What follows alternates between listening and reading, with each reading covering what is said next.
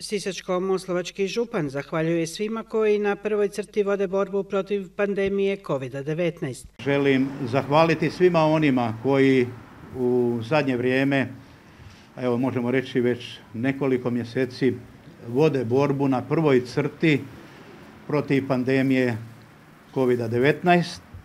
To su prije svega e, naši liječnici, naše medicinsko osoblje, zdravstveno osoblje, naša policija, vatrogastvo, Crveni križ, svi ostali ravnatelji domova zdravlja, ravnatelji naših domova umirovljenika.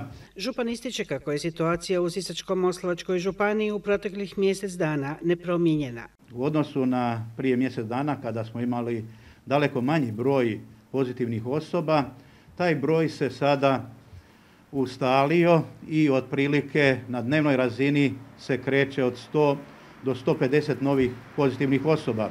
Imali smo jedno vršno opterećenje 11. Eh, prosinca 332 pozitivne osobe, to je bio rekord, neslavan nažalost, ali gledajući situaciju općenito u Republici Hrvatskoj možemo reći da je ovo stanje pod kontrolom. Neću reći da smo posve zadovoljni, moglo ono biti puno bolje, ali želim prije svega zahvaliti našim sugrađanima, prije svega mladim ljudima koji se suzdržavali od onih aktivnosti koje su mogle pogoršati stanje. Trenutna situacija je u županiji da ovaj broj pozitivnih osoba, broj hospitaliziranih je nešto što naš zdravstveni sustav i cijeli sustav obrane od korone može podnijeti. Situacija u općoj bolnici dr. Ivo Pedešić u Sisku je ozbiljna, turbulentna, promjenljiva iz sata u sat, ali ono što već duže vrijeme govorim ipak je kontrolirana. Svi bolesnici su srednje teške i teške kliničke slike. Sve više je to bolesnika koji su srednje životne dobi. Veliki problem nam je što većina tih bolesnika koristi za terapiju kisik, što E, izaziva određene poteškoće, ali to uspješno rješavamo. Situacija je pod kontrolom upravo zahvaljujući vrlo dobroj komunikaciji i koordinaciji sa Ministarstvom zdravstva. Sve srednje škole u Županiji prešle su na online nastavu, kao 11 osnovnih od 22 škole kojima je osnivač Županija. U domovima umirovljenika nemamo većih problema i ono što bih htio poručiti nema ovdje tajne formule na koji način zaustaviti COVID.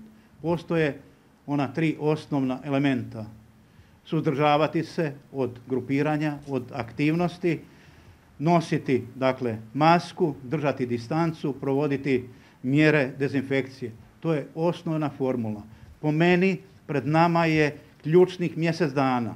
Ukoliko ćemo ovakvu situaciju kakvu sada imamo, zadržati ili smanjiti, mislim da smo uspjeli i da ćemo nakon mjesec dana moći reći da imamo stabilnu situaciju, nećemo se mi riješiti korone, ali dolazak cijepiva, cijepljenje i neke druge stvari vjerujem da će zaustaviti ovu koronu i da ćemo moći normalno živjeti.